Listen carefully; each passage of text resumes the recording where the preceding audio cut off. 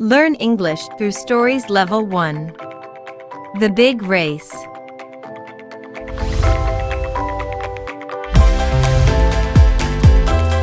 John was a young boy who loved to run.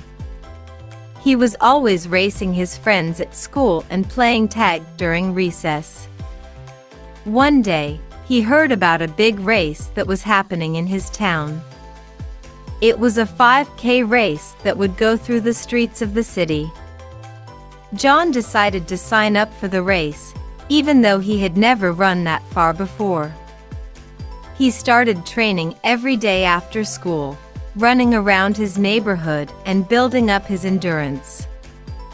He was determined to do his best in the race.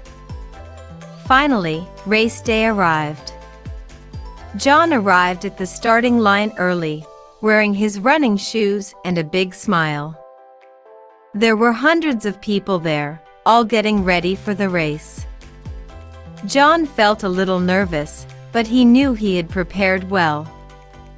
The race began, and John took off running. He started out strong, passing other runners and feeling good.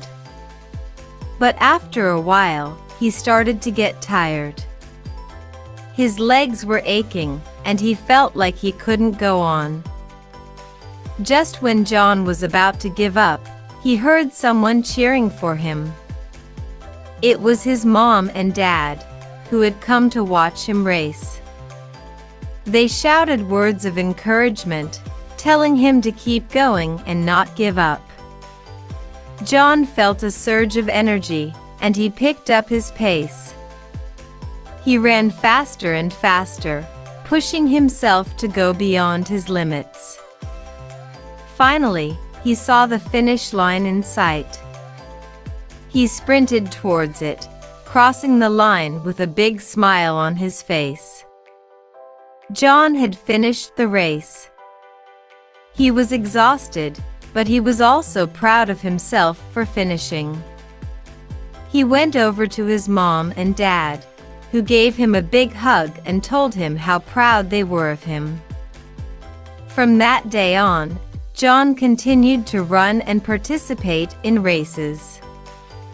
He had learned that with hard work and determination, anything was possible. That's the end of the story. To read stories and practice comprehension exercises, visit our website. Thanks for listening.